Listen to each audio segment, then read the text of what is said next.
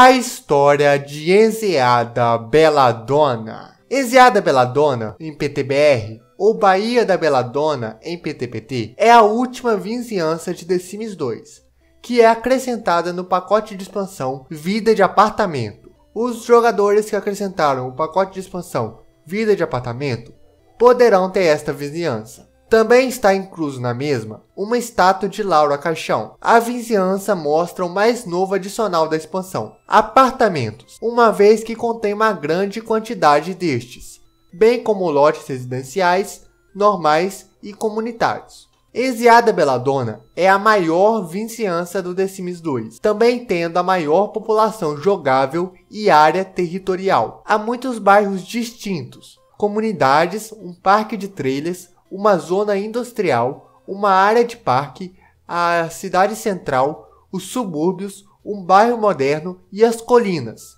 um bairro chique onde os moradores de classe alta vivem. Uma coisa que muitas vezes passa despercebido sobre Enseada Beladona é a sua riqueza relativa. Em média, os Sims que vivem na área mais pobre possuem em torno de 13 mil simônios, enquanto aqueles que vivem nas áreas ricas têm de 50 mil simônios a 227 mil simônios. Em contraste, a maioria das famílias em Bela Vista começa com cerca de mil simônios. Enseada pela dona tem muitas semelhanças com Nova York, especialmente os parques centrais, Central Park. A Biblioteca Pública de Enseada Dona, Biblioteca Pública de Nova York, o Distrito Rico com vista para o parque Upper East Side e a estátua de Laura Caixão, Estátua da Liberdade. Nossa, velho, Laura Caixão é importante mesmo, hein? Além disso, a estátua de Laura está em um lago, enquanto a estátua da Liberdade está em um oceano, sendo que ambos são corpos de água. Enseada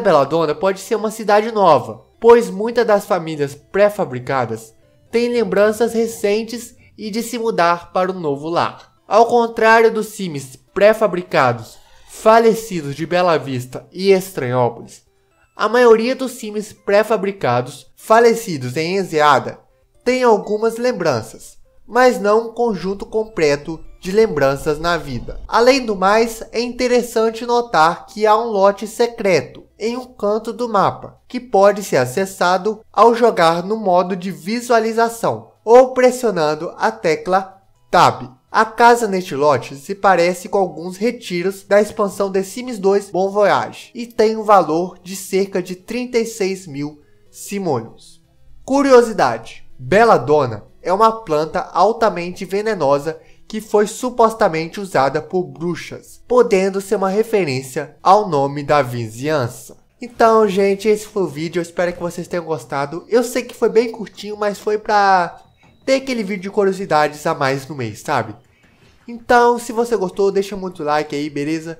E se você quer mais vídeos de curiosidades, deixa muito like aí, porque apesar de ser curto o vídeo, dá muito trabalho. E comente aí também se você quer que tenha uma vizinhança parecida com Enseada Beladona, ou pelo menos que tenha as famílias dessa cidade aí do The Sims 2 no The Sims 4. Ou, num, ou que tenha um possível criar um mundo no The Sims 4 que possa ter jogadores a criar esse mundo no The Sims 4, né? Então, gente, é isso. Se inscreve no canal se não for inscrito, deixa muito like aí, tá bom? Que me ajuda bastante. E é isso aí, beleza? Falou e até a próxima. Tchau!